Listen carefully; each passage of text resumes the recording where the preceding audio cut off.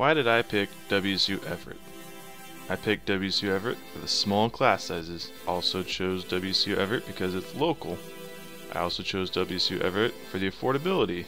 Being able to live at home has saved me lots of money that I'm able to invest into better equipment for myself. I've had many experiences at WSU Everett, including leadership conferences, engineering club competitions like the Mars Rover competition, and the APWA conference. WSU Everett has a lot of opportunity open to many students, including myself. So we live on the I-5 corridor, and we have major companies, including Boeing, Microsoft, and Amazon at our fingertips. This leads to having many opportunities for internships and being able to do an internship during school from the donors. We couldn't have done this without the donors. They have been so supportive of the school, the staff, the students, clubs, everything. It is an amazing experience to see it all come together.